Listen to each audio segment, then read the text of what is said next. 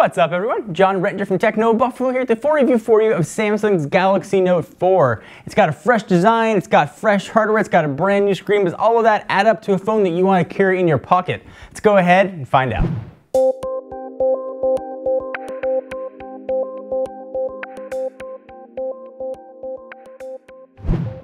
As I do with all my reviews, I want to give a disclaimer. I used this guy for eight days on AT&T service here in Southern California. If you want to see any more detail on what I'm going to talk about, hit the link down below to go to the written portion. Todd has his own review unit, and uh, there's a lot more detail and pictures and galleries and all the things we're going to talk about.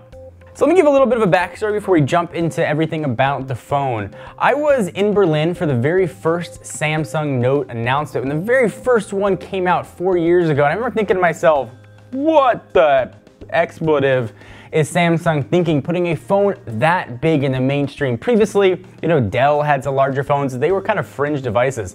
Uh, it turns out though, Samsung had more foresight than anybody gave them credit for, or perhaps they stumbled backwards into what was a hit category. They've had four generations to try and get this right. And a little bit of spoiler alert, I think they hit this one out of the park.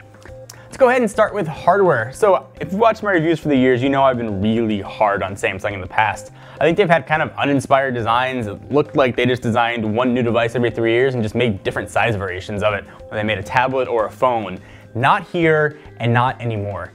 So Samsung added beveled edges to the device that make it look, for lack of a better word, just sharp.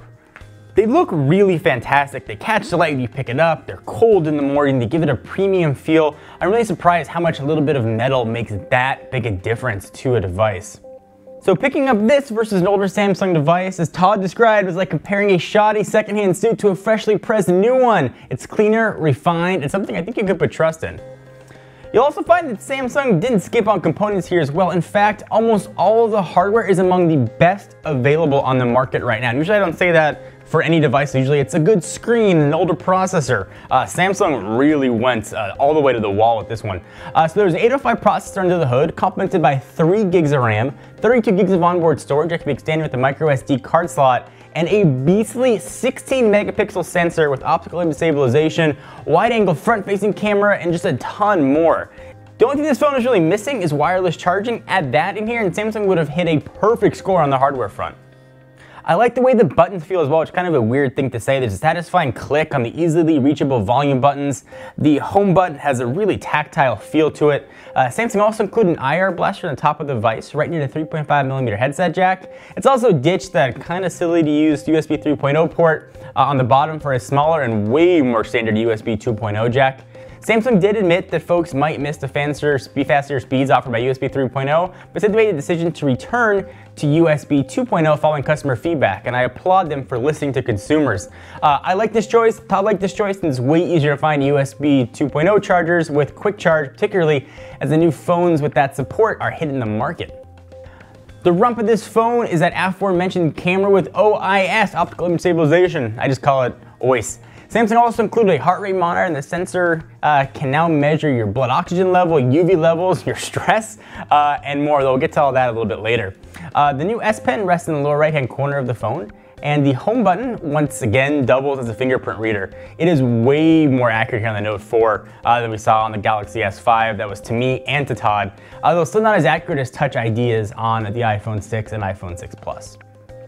The back cover, while being redesigned and thank goodness no longer has fake stitching on it, uh, can be removed and it feels really good on this device. It's still a bit of flimsy plastic when you pull it off, um, but I would trade that any day for having a removable battery. And Samsung really makes that super easy to pop this thing off. You can access the SIM card and micro SD card slot. So yeah, it's a little bit flimsy when you pull it off. When it's on here, it sits almost flush to the back of the battery, so you don't feel any sort of give. It feels really premium. And I know this might be kind of nitpicking here, but I do wish the Zion also included IP67 rating for water and dust resistance. And I know, and Todd knows that we can't sort of have it all, but the folks who appreciate that aspect of the Galaxy S5 might kind of be a bit let down turn the Note 4 doesn't have such rating. So if you got a lot of kids, you go to the beach, you know, you might want to be careful or just get a waterproof case or put it in a plastic bag. Of course, we can't really talk hard without talking about this display. Uh, for lack of a better word, it's insane. Uh, I've been happy with the display on the screens like the iPhone 6 Plus, which look really sharp and stunning uh, with 1080p resolution, but you can totally see a difference looking at the Note 4's Quad HD screen. Uh, it is gorgeous. AMOLED allows Samsung's blacks to look really truer than on any other smartphone I've seen. And it makes ridiculous viewing for movies, photos, and the colors look like they're just popping off the screen here. So as soon as I got this thing out of the box, I wanted to look for quad HD footage to watch on this, but Samsung didn't include any, but fortunately the camera can record 4K footage, uh, so you can check out anything you're recording. I went and downloaded a few open source samples, and it looks really, really nice. Uh, even 1080p videos also look good. Text, of course, while reading a book or on a white screen looks really sharp and crisp. Of course, you're not gonna see any pixels unless you're Superman and have crazy fancy vision. And the screen also holds up outdoors which is even more surprising. I could see it in direct sunlight, which is not something I say very often. I know I've sort of been a broken record with Quad HD screens saying I don't see a big difference from a good 1080p screen, and that's been the case until this guy. So if you can tell, I'm kind of overly complimentary here. Samsung really offers the whole package here. Gorgeous design, a beautiful screen, and the specs to match it. It's too bad though, the software isn't as clean cut. So the Note 4 runs Android 4.4.4 KitKat out of the box, which up until a couple days ago as this filming was the most recent version of Android. It's great, it's modern, but still it's got TouchWiz on it, which just isn't. It's been improved as we saw with the Galaxy S5, but it still feels overly colorful and crazy bloated. Think of it as like after your second Thanksgiving meal and all you want to do is lay on the couch. Uh, thankfully though, you can skirt that issue entirely in the third-party launcher, which is the first thing I usually do uh, to cover up TouchWiz. TouchWiz, to me and Todd, still feels kind of sluggish. Despite the Snapdragon 805 processor and 3 gigs of RAM, there are just still small jitters here and there that aren't buttery smooth. I think other skins, like Sense 6, tend to be way more efficient. Uh, I'm not gonna harp on TouchWiz too much here though. I know some folks like it, there are many options available, which is one of the beauties of Android. If you don't like it, you can kind of make it go away. It is one of the nice things that Android offers. Samsung's outfitted the Galaxy Note 4 with S Health 3.5. We're still trying to figure out how useful all this is, all the health features. It's great at reminding me that I've been sitting at my desk for way too long, which I probably need to be reminded of. Uh, and I do that without moving, just kind of moving my fingers. Uh, but I did use it for tracking the calories that we were eating. Still low for us, I don't know why I need to check my blood oxygen levels, but does work very well if you want to try it. Uh, and if you want to check your heart rate from your phone, you can do that here too. Uh, we get that Samsung's trying to create a health gadget and adding more functionality is always appreciated, but it's just not going to be a make or break decision on the smartphone. Think of it more as a value add than a reason to go out and get the phone, at least for me. Uh, thankfully though, the software that does that though is clean and nice to look at. Heart rate monitor is also accurate enough and reading on my Moto 360 and Galaxy Note 4 is the exact same, so it's pretty accurate. UV sensor can also be useful for folks who are worried about sun damage, uh, so that's sort of appreciated addition as well. But other options like stress monitor, I don't know, tell me I'm stressed, which I know that. So we've talked a lot about TouchWiz and my dislikes for it, but Samsung's S Note software is pretty awesome and the S Pen is better than ever. You can use the S Pen to select groups of items like pictures super easily. It's also even more accurate, allowing you to sketch drawings if you can draw uh, inside of the S Note application. Density of digital ink also on your canvas changes as you press harder on the screen with the S Note, and it seems way, way more sensitive than before. Other kind of software stuff, multi-window's also been improved too. Not only can you run two apps side by side, but you can also uh, pop some of them out like Hangouts in the browser and the camera and more. I'll run them in super small mini windows right on your home screen. It's actually more useful than we thought. There's a ton of more software tweaks I can talk about here, but those are some of the highlights that I ended up using the most. I could probably make like an 80 minute video just on sort of the software features uh, that Samsung's got on board here. And that is one of the nice things about TouchWiz. If you like those small features that Samsung adds, you're going to love this device. Find yourself sort of not using all of them though, you might want to look at putting a third party launcher on. So next let's talk about this camera with that camera hump right there. Uh, we said Samsung didn't skip on specs. That statement certainly holds true for the back camera here. It's a 16 megapixel camera, uh, which is absolutely ridiculously good. Uh, Samsung opted for optical image stabilization support, which we've seen in other flagship Android smartphones and of course the iPhone 6 Plus.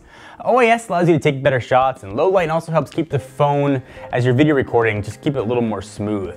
Um, it's not perfect for moving objects. Those are, those are still able to blur a little bit, uh, but should help you to take cleaner images if you're just sort of moving a little bit or you got shaky arms. Uh, we've got a video sample right down below if you want to take a look at that and see what it looks like. We shot it outside. Uh, but video quality came out really, really nice as well. On the picture front, the shots we took on the Note 4 also came out really nice. Unsurprisingly, they look very good, especially in low light. If you want to see examples of all those, hit the link down below and go to Todd's article. You can see a whole gallery of all damn pictures. One of the things I'm always worried about with the Quad HD phone is battery life.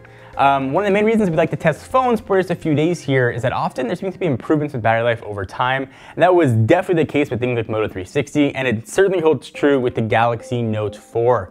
Uh, first couple days we used it, battery life went by pretty fast. It's probably because I was using it more than I would. Uh, it's got a 3,220 milliamp hour battery, and after a couple days I started using it like a normal phone, uh, it got really, really good. My usage is pretty heavy, I think probably more heavy than most. I'll take it off the charger around 6.30 to 7.15 depending on the time of day. Got two emails being pulled down all the time. Uh, it's mostly connected to Wi-Fi, either home or at the office, which I spend way more time than I should.